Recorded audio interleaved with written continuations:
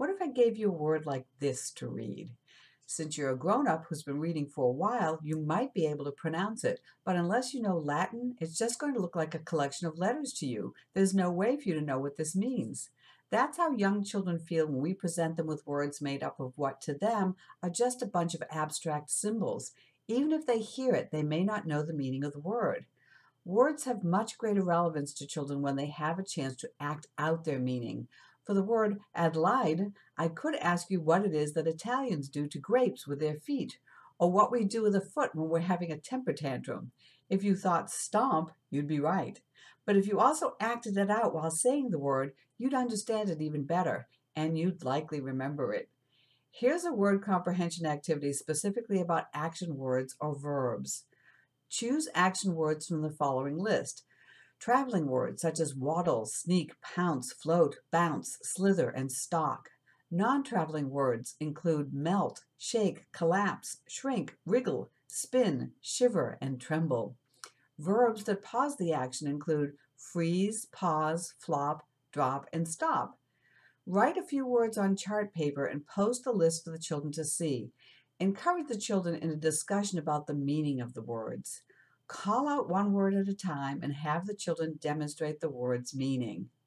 When the children are ready for a greater challenge, present two or more words at a time to act out in sequence. For example, you might invite them to stamp and shake.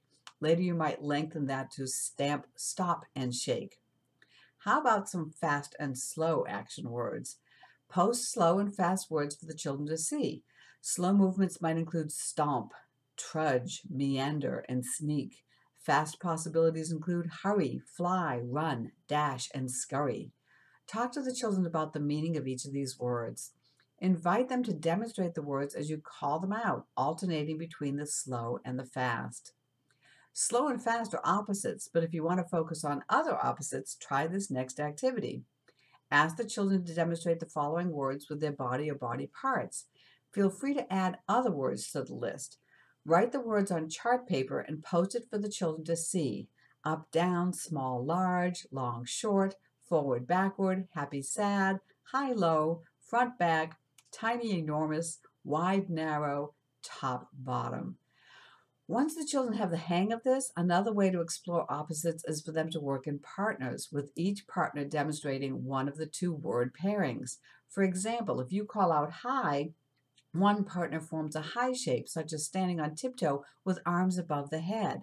As that partner holds her position, call out low, which her partner demonstrates, for instance, by crouching near the floor. This gives the children an opportunity to see the contrast between the two words. Descriptive words, also known as adjectives, are the focus of this next activity. Post a list of adjectives that lend themselves to demonstrations to demonstration. Possibilities include strong, light, graceful, forceful, smooth, droopy, gentle, floppy, careful, enormous, tiny, excited. Talk to the children about the meaning of the words you've chosen. Then call out one word at a time, inviting the children to demonstrate each word.